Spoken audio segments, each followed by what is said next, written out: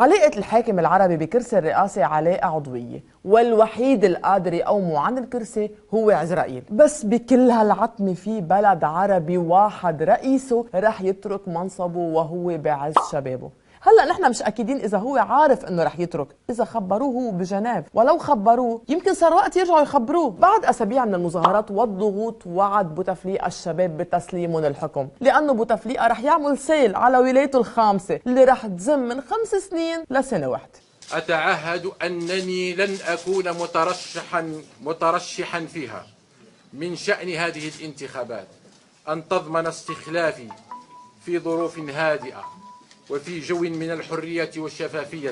نستبدل إسقاط النظام بتغيير النظام والشعب الجزائري سيد في وطنه وإن أراد تغيير النظام فله ذلك ولكن يجب أن يكون في ظروف هادئة يعني بدون أي عقدة ومن خلال الندوة الوطنية التي ست يعني ستستوعب كل الجزائريين بمختلف مشاربهم والطبقة السياسية والمجتمع المدني. طب ها شو بدكم أحلى من هيك؟ أحلى ربيع عربي مع بوتفليقة قد ما بحب شعبه ما راح يخليه يتعذب يتظاهر قوي شاغب. تيغير النظام. بوتفليقه رح يترك السلطة لعيون الجزائريين. من أجل أن تكون معنوياتهم مرتفعة. بدكم تغيروا النظام؟ النظام رح يتغير لوحده. بدكم الرئيس يفل أساسا هو نص وقته بيقضي برا الجزائر. بعدين أنجأ صار له 20 سنة. منه مثل مبارك أو القذافي.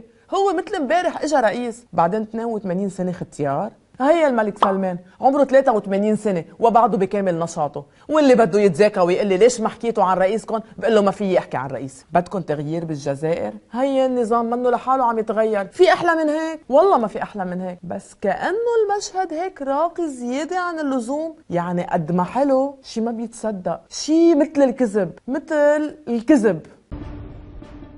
أقرب الناس إلى الرئيس الجزائري. ينسب له نفوذ كبير. أو حتى دور محوري في تثبيت أركان حكم عبد العزيز بوتفليقة خاصة بعد مرض مثل عبد العزيز ولد سعيد بوتفليقة في مدينة وجدة المغربية. ومع صعود شقيقه إلى الرئاسة صعد هو الآخر لمنصب المستشار منوئوه يقولون إن المستشار أكثر من مستشار ويعطي أوامر لتسيير أمور البلاد. رئيس المخابرات القوي محمد مدين المدعو توفيق أحيل للتقاعد عثمان طرطاق هو الذي يدير المخابرات تحت إشراف الرئاسة. الفريق أحمد قايد صالح يرأس أركان الجيش. اسم آخر ذو نفوذ في الجزائر هو جنرال البشير طرطاق رئيس الاستخبارات.